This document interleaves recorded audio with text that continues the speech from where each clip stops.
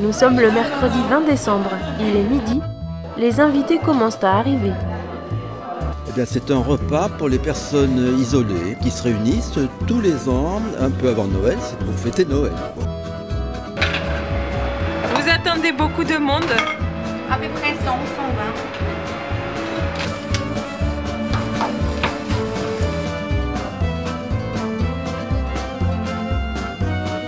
Mais l'équipe monastique porte aussi particulièrement cette journée dans la prière.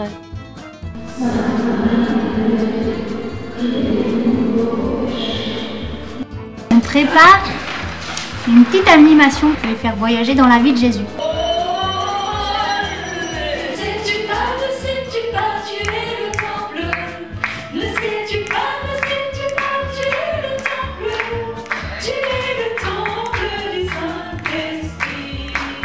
Aujourd'hui, c'est un repas pour fêter ensemble Noël, parce que Noël signifie pour nous l'amour, le partage, la famille, pour que les personnes qui vivent seules ou qui ont perdu un être cher se sentent accueillies et se sentent aimées.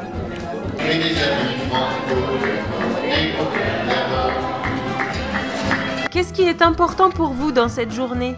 Euh, la rencontre, D'abord la convivialité l'amitié, et le respect de l'autre. Il y a un certain respect entre, ça se sent. hein.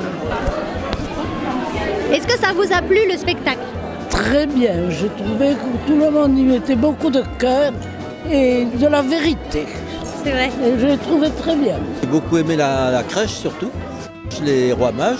J'ai beaucoup aimé les ombres chinoises. C'est très très réussi. Super. C'était un moment de, de grâce, juste avant de Noël. Et je vous donne un rendez-vous le dimanche après Pâques, c'est facile à retenir. Toute la journée, il y aura spectacle, la messe présidée par l'évêque et puis des surprises.